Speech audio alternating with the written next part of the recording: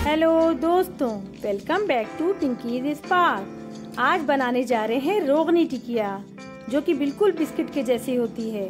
ये आप breakfast lunch और डिनर कभी भी बना सकते हैं, और ये खाने में भी बहुत मज़ेदार होती है। तो चलिए इंग्रेडिएंट्स देख लेते हैं।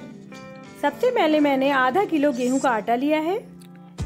डालडा 200 ग्राम, रोगनी टिकिया में घी ज़्यादा ही डलता है। इसलिए हम घी अच्छे से लेंगे। और नमक स्वादानुसार और शुगर टू टीस्पून। तो सबसे पहले हम इसमें नमक और शुगर ऐड कर लेते हैं।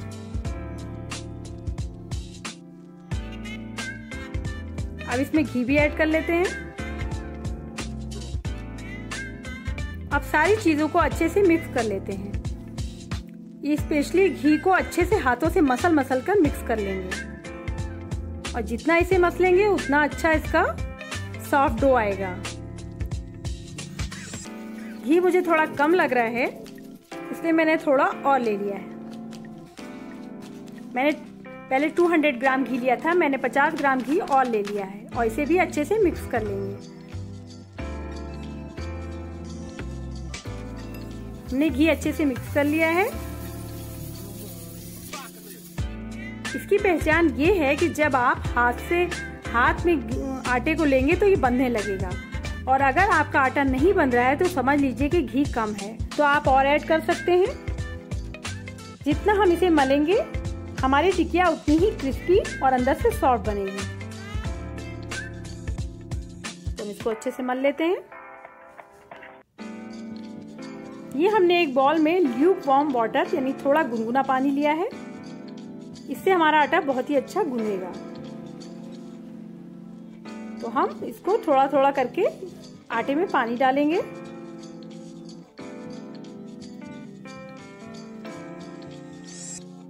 ध्यान रखेंगे कि हमें थोड़ा टाइट ही आटा गूंदना है तो ज़्यादा पानी नहीं डालेंगे।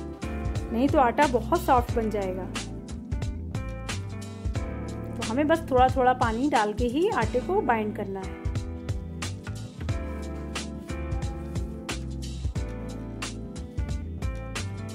तो आप देख सकते हैं कि हमारे आटे की बहुत अच्छे से बाइंडिंग हो गई है और one fourth part of water भी बच गया है। तो बस, अब हमें इसको, में और पानी नहीं डालना है। एक बार आटा गूंद गया तो फिर और पानी नहीं डालना है। ये मिस्टेक हमें नहीं करनी है। यही इसकी मेन ट्रिक है कि बाइंडिंग के बाद आपने और पानी लगा दिया तो आपका डो खराब हो जाएगा। और टिकिया के बजाय रोटी बन जाएगी। तो तो अब इसे अच्छे से गूंद लेंगे। देखिए, आटे ने बर्तन छोड़ दिया और हैंड भी बिल्कुल क्लीन है। तो बस यही इसकी पहचान है कि डो रेडी है। अब हम इसे रोटी के साइज़ की लोई लेंगे, क्योंकि ये टिकिया रोटी से छोटी होती है, मगर रोटी से मोटी होती है। अब हम इसे बिना एक्स्ट्रा आटे के सपोर्ट के बेल देंगे। इसमें काफ़ी ज़्यादा घी है तो ये बगैर आटे के सपोर्ट के अच्छे से मिल जाएगी। तो चलिए इसे बेल लेते हैं। हमारी टिकिया ना एकदम पतली हो, ना एकदम मोटी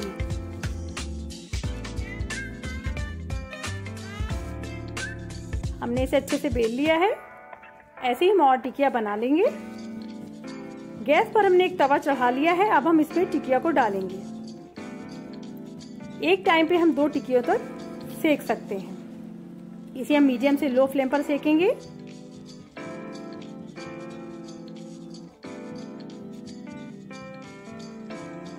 अब इसे हम पलट लेंगे।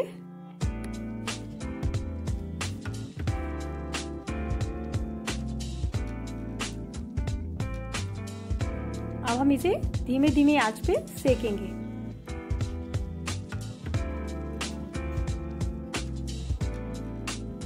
अब एक क्लोथ की मदद से दबा दबा के हम इसको सेकेंगे।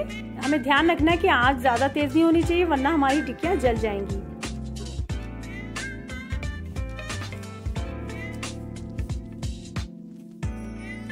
हमें थोड़ा पेशेंस रखना पड़ेगा, इसमें थोड़ा टाइम लग सकता है क्योंकि ये हमें धीमी ही आँच पे सेकनी है। तो हमारी टिकिया एक साइड से सीख गई, अब हम दूसरी साइड से भी इसे सेक लेंगे।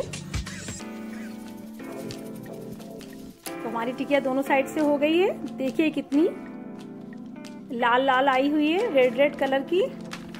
तो ये एकदम सोंधी बिस्किट की जैसी टिकिया है। तो हमारी रोनी टिकिया रेडी है, ये ऊपर से क्रिस्पी बहुत ही क्रिस्पी होती है। देखिए, अंदर से सॉफ्ट और खाने में भी बहुत टेस्टी होती है। अगर आप ब्रेकफास्ट में पराठा पूरी खा खा के बोर हो गए हैं तो ये रोगनी टिकिया ट्राई करें, आपको ज़रूर पसंद आएगी। तो अगर वीडियो अच्छी लगी तो प्लीज़ मेरे चैनल को सब्सक्राइब करें, अपने फैमिली फ्रेंड के साथ शेयर करें, वीडियो को लाइक करें और इसे ज़रूर बना के खाएँ। Thanks for watching. Bye bye.